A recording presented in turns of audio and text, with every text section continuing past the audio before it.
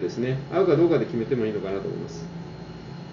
えー、海外人ご希望の方からですね。アフィリエイトのジャンルを調べたいですと、あとニッチなジャンルどうでしょうかと、需要どうでしょうかということですね、あとアフィリエイトジャンルの絞り方についてなんですけれども、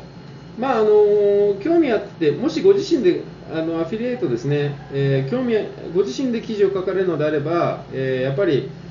どのジャンルかっていうのはちゃんと調べた方がいいかなと思いますね。自分で、えー、興味を持ってずっと発信できるかどうかっていうところと、あとまあニッチでもいけたりするんですよね。ただあのあまりにもニッチすぎると当然そのかけるキーワードが減ってきたりとか、あとまあそもそもですね頑張る割にですね収益にならないってことがあるので、そこのバランスですよね。えー、ブルーオーシャンだとよく間違いあるのはブルーオーシャン目指す人いるんですけども市場自体がないんですよね。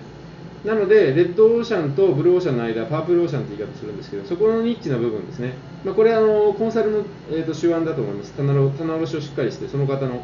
でですねテーマを、アフィリエイトのジャンルをしっかり一緒に決めてあげるってことですね、需要があってっていうところで、絞り方だと思います。